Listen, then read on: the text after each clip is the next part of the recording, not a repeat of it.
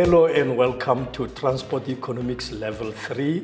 I'm Ketlarin Tingwe, lecturer for Transport Economics Level 3 and Level 4 from Orbit TVET College, Mankwe campus.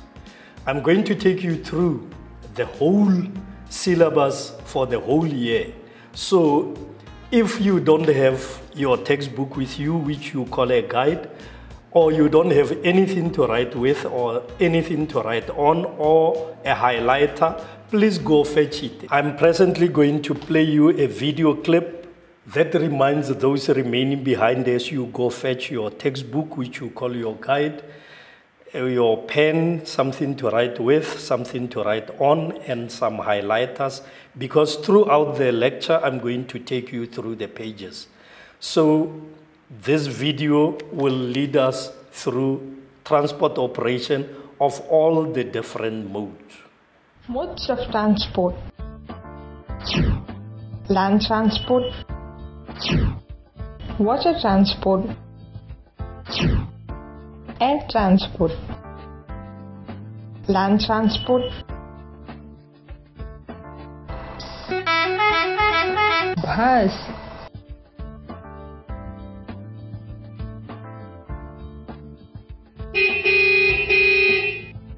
car.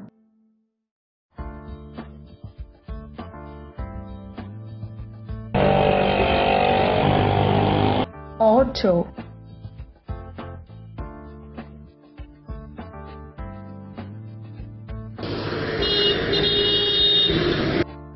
Van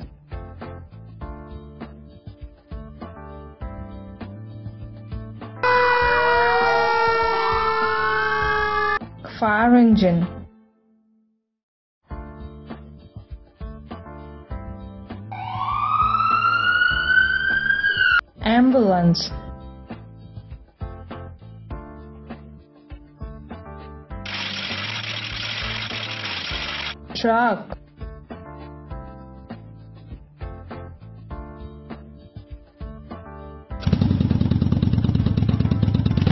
Motorbike.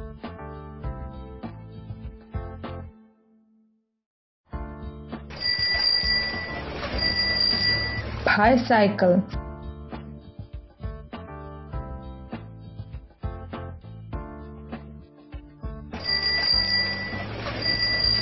rickshaw.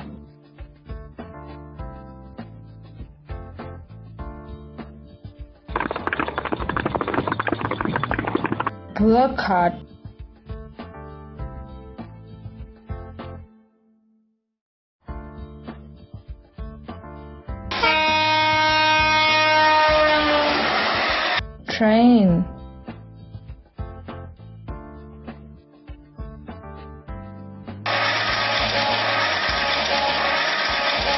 metro train. Water transport. Ship.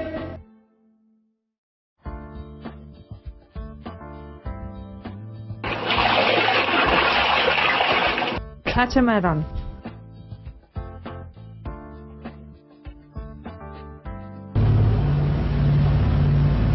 yacht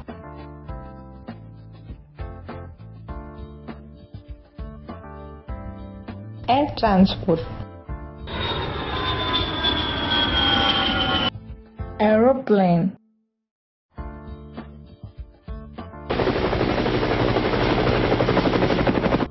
Helicopter.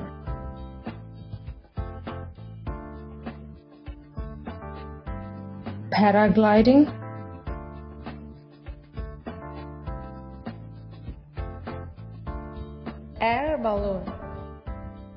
I hope you have enjoyed the video and it reminded you everything that you learned in level two. Now, as you know, transport economics level three is all about legislation and regulation of the transport industry. Legislation is a piece of law usually written, passed by parliament, and signed by the state president. Any rules, any regulations, any memos, any circulars, any policies, speeches by legitimate authorities, may be used as legislation. Regulation, on the other hand, is the adjusting, the organizing, or controlling of something. We are continuing with legislation as we introduce it now. Every day we see some patterns, like we saw in the video.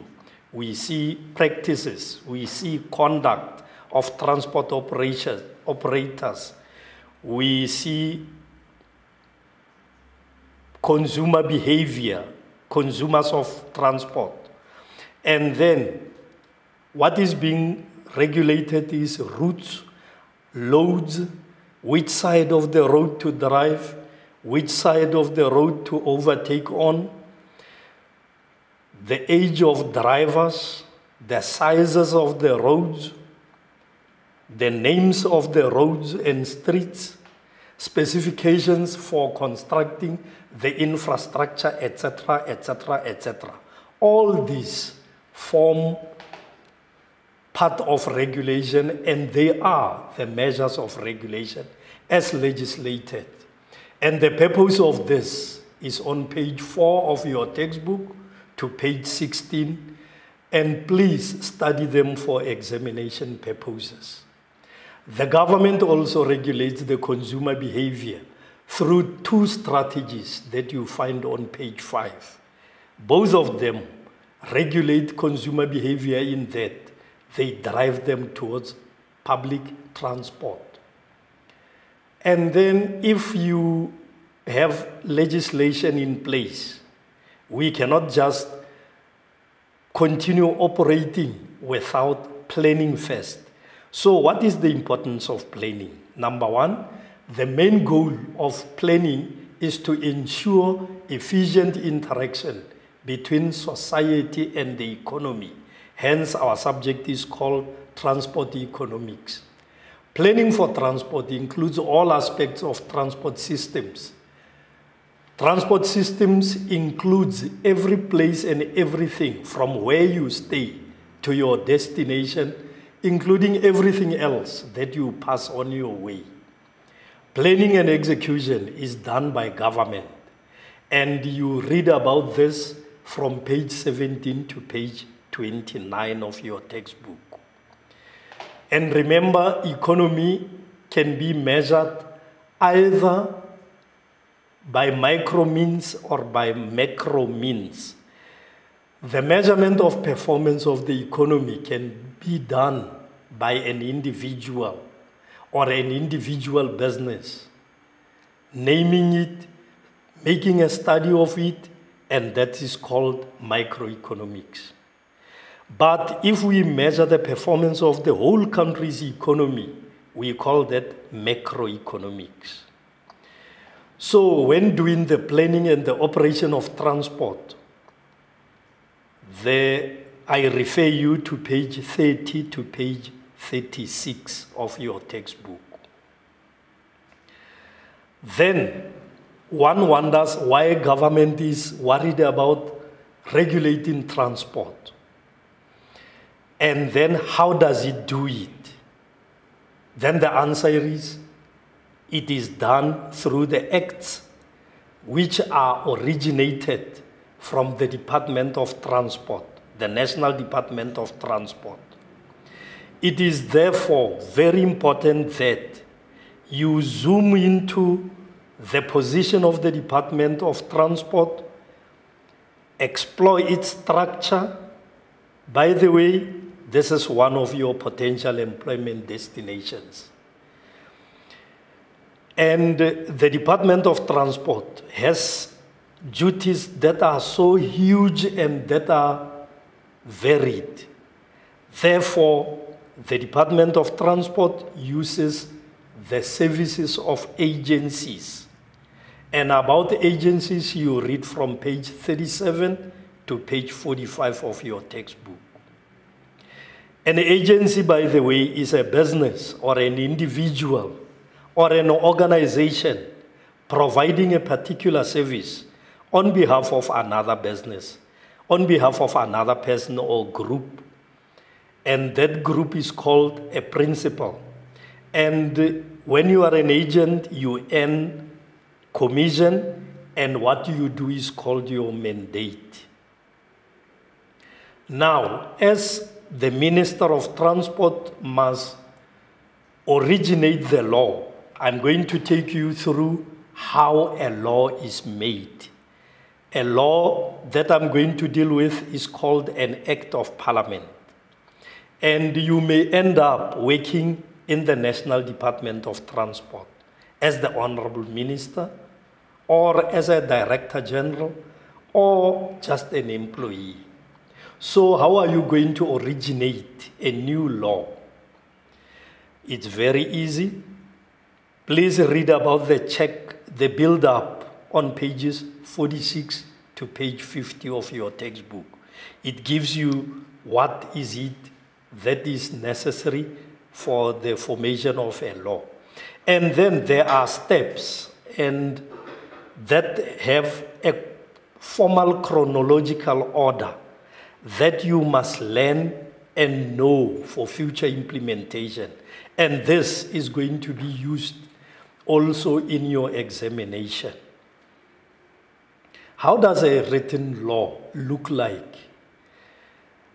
Because I don't have a copy with me now, please download any act or buy it from government printers. They cost a mere five rand. Or ask any court of law so that you can make yourself a small lawyer. By the way, the reality in South Africa is this that there is an acute shortage of transport lawyers. Then you will be, when you go through this piece of legislation, you'll be introduced to the name of the act, its number and year, president's signature or affirmation thereof, the main purpose of the act, definitions, etc., etc., etc. Some of them are on page 53 to 57 that have to do with transport. And please learn these for examination purposes. Because this is all about the law, you know that people will be tempted to commit crime. And crimes that are committed using transport or against transport are referred to as transport related transgressions. I said they are so called transport related transgressions because they are either committed against transport operation or committed using transport vehicles or systems.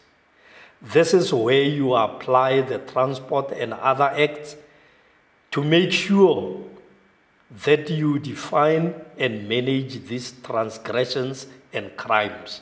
As you go through these transport related transgressions that are on page 59 to page 99, make sure that you can define them, that you can see the steps of managing them, and which agencies are managing them. Then you have reached page 100. Page 100 has exam type questions. How are you going to deal with this?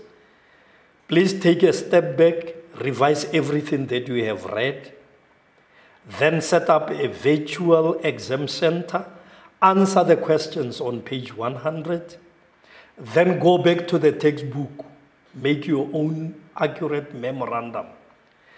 Take a red pen, mark for yourself, and oh, if you didn't get 100%, write again tomorrow to obtain a better mark. You will repeat the same procedure until you can score 100% out of those questions. Then we continue with the transport agencies and policies. After originating and producing and promulgating the acts, you can draw up policies. The policies do not require the president to sign them, like the NATMAP 2050, which we have already done, and you can regulate transport thereby. The more to be done, the more hands you need. Hence, there will be more agencies that you are going to study about. Please explore all this and leave no stone unturned. Some policies come before others and are said to be critical, like we have seven critical government policies. Please study them. They are on page 101 to page 124. And we continue with more agencies after reading. As you will be doing the study of these agencies, please make a distinction between public and private transport, passenger and freight transport in all the five modes of transport. And as you'll be studying this, this is what you must be looking for. It is stated which agency is established in terms of which act, how the agency is funded, for which mode it is formed, the makeup of that mode of transport, as well as the size, whether it's private or public. How all these agencies manage when carrying out their mandate, and how each agency is contributing to the economy. All this will take you from page 126 to page 199. But NB, if you know what they do, if you know, if you know what the agencies do, there is no need to read from the textbook their contribution because whatever they do, how many people they employ, and what taxes they pay, and what procurement they are faced with, and what is it that they are doing, then you can write it from your understanding. Then the last chapter is about the disputes and appeals. What is it that you are disputing? What is it that you are appealing? This covers the failed application you made for operating licenses. Remember, before you operate your own bus company, before you operate your own trucking company, or even a taxi, you need an operating license. You make an application, it may be allowed or turned down. So if if you are denied that business opportunity, there are two agencies who can help you out. These two agencies look at how they are structured, how they operate, the powers they have, and this is a short one from page 200 to page 210. After having gone through all this, you will have made yourself a transport attorney. And just before we end this, the textbook that I've been talking about is this one produced by TIDASA. And uh, the questions on page 100, I'll take you through them and let you know how you should handle these. Question one says, explain how legislation and regulations guide the transport industry within the wider economy and describe the importance of establishing a regulated transport environment. This is a cumbersome question because it has many more questions inside in it. For examination purposes, you will be, you will be asked, explain how legislation and regulation guide the transport industry. Or you'll be asked to describe the importance of establishing a regulated transport environment. So when you answer this question, make sure you take the first part of it, answer it, and the second part of it, answer it as well. Question two, explain the importance of planning and it is coupled with the importance of policy development for the transport industry. There are two questions. Please answer them separately. Question three. Outline with examples a macro and micro view of transport economic planning. In this instance, you outline the examples of macroeconomics, macroeconomic view of transport planning, and then part B thereof, the micro view of transport economic planning.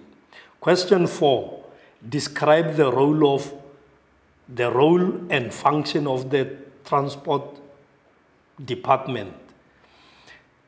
It must be described the role of the transport department. And the second one is describe the function of the Department of Transport within the South African government structure. Question five, draw a diagram or a model illustrating how transport legislation is developed, verified and promulgated. And uh,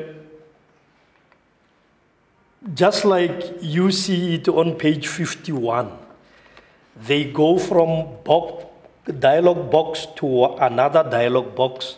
They are in a chronological order, and you just have to follow the arrows from number one. So the best thing will be take your pencil, identify the need or the problem. That's number one. Number two, research and consult the interest parties Number three, prepare draft legislation under the direction of the Minister of Transport, and the arrow goes down to the National Department of Transport submits a cabinet memorandum and the draft bill. And so it goes until you reach question, I mean, step number 14. Question six, name the acts and regulations applicable to this industry. So you'll either name the act, I mean, you have to name the acts first, and uh, you name the regulations that are applicable to the transport industry. And just like I told you, you'll also describe the origin, the main aims and purposes of those listed acts. Question seven, define typical transport related transgressions and you provide examples. If you define, you can use your own words, not that you have to memorize the words in the textbook. And you give examples that are happening in South Africa. And please do all of them. Question eight identify structures and, and departments within the government that are responsible for managing those transgressions. Some of them, as you know, like South African police services, are not in the Department of Transport, but you have to know each one of them. Question nine steps of managing transport related crimes or transgressions. Also on page 211, you have summative assessment of topic two, which are also examination type questions. And please, the introduction says it's compulsory to answer all the questions and you number them clearly. And the first question is to list the seven critical policies of the Department of Transport, describe the main aim and purpose of each of the policies as numbered there, to discuss with examples the makeup and size of the South African passenger and freight transport market. They are using the word makeup here because makeup, ladies know, are applied to the faces. And if you know a person, you, you say, I know this face. Therefore, as you step out of your house, look into the streets like you saw in that video clip, you see types of different vehicles moving around. That is called the makeup. For example, if you are in Lesotho, you'll probably see more of horse rides. If you are in Botswana, the traffic is made mostly of taxis which are sedans, unlike in South Africa where you get minibuses and midi buses. That is the makeup. Size will refer to the number of people using this type of transport and also number of vehicles on the road. Question four, differentiate between private, public, passenger transport markets, differentiate between public, freight transport markets, Four questions there. Number one is differentiate between private passenger transport market. The second one, private freight transport market. Number three, public passenger transport market. And number four, freight transport market. Question five, define government agencies and explain the need for government agencies within the transport industry. List various government agencies responsible for regulating air transportation. Question seven, briefly describe the role and responsibilities of the following agencies that are listed there. Question eight, describe the contribution of each of the responsible for regulating air transportation. May I repeat that? Describe the contribution of each of the agency responsible for regulating air transport to the wider economy. And question nine, list various government agencies. Question 10, the role and responsibilities of the following agencies. Question 11, the contribution of each. Ensure you take note of everything. The more you understand and learn, the better than memorizing. One of the ways to make you understand is to ask around for more answers. And good luck in your studies and your subsequent assessment. Thank you.